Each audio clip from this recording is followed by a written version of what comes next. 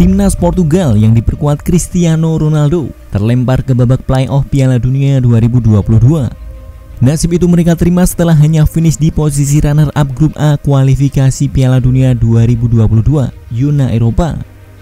Portugal menghadapi Serbia di matchday pamungkas di grup A kualifikasi Piala Dunia 2022 Yuna Eropa. Setelah melewati tujuh pertandingan, baik Portugal dan Serbia sama-sama mengoleksi 17 angka Berhubung unggul selisih gol, Portugal hanya butuh hasil imbang untuk mengunci status juara grup dan lolos secara otomatis ke Piala Dunia 2022.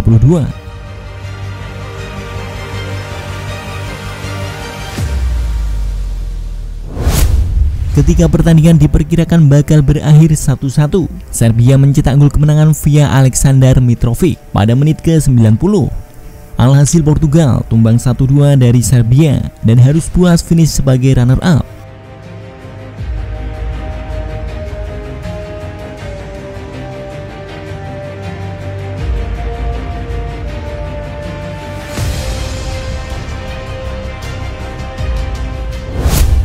Meski begitu, fans Portugal tak perlu takut sebab Selaku dan Squinas sudah biasa turun di babak playoff Piala Dunia. Hebatnya, tiap kali turun di babak playoff, Cristiano Ronaldo dan kawan-kawan selalu memenangkan pertandingan dan melaju ke putaran final Piala Dunia. Semenjak Cristiano Ronaldo membela Portugal, mereka telah empat kali lolos ke Piala Dunia. Sebut saja pada 2006, 2010, 2014 dan 2018. Untuk lolos ke Piala Dunia 2010 dan 2014, Portugal melewati babak playoff.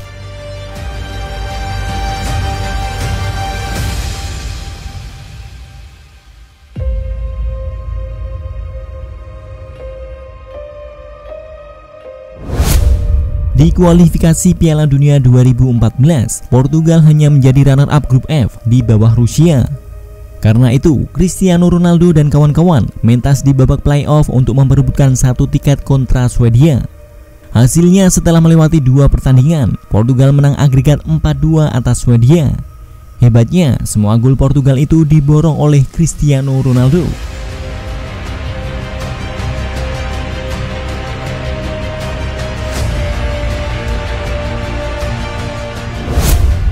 Sebelumnya di kualifikasi Piala Dunia 2010, Portugal hanya menjadi runner-up grup 1 di bawah Denmark. Alhasil, Portugal terlempar ke babak playoff dan bertemu Bosnia Herzegovina. Hasilnya dalam dua pertemuan itu, Portugal selalu menang dan unggul agregat 2-0 atas Bosnia.